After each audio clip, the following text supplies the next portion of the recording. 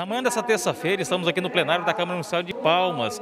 É, agora, dessa vez, com o vereador Mauro Lacerda. Vereador, hoje um requerimento de sua autoria apresentado e também aprovado no plenário. Você pode explicar para a gente sobre esse requerimento, que é de suma importância para a nossa capital?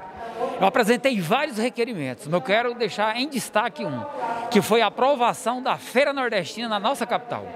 Hoje conseguimos um terreno que fica localizado na quadra 128, no setor Morada do Sol, no qual está disponível foi aprovado pela essa Casa de Lei para a gente fazer a Feira Nordestina. É a homenagem aos nordestinos dessa capital.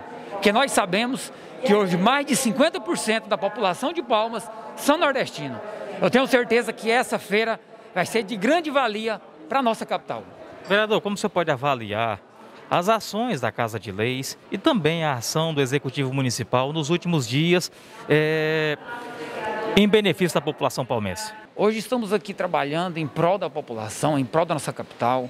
Hoje eu tenho certeza que os pares estão aqui hoje todos unidos para trabalhar e trazer dias melhores para a nossa população, porque eu acredito que essa casa de lei, ela tem que andar em conjunto, porque se a gente andar em conjunto, a gente vai conseguir fazer algo que venha beneficiar todos, venha beneficiar o coletivo, que venha beneficiar a comunidade.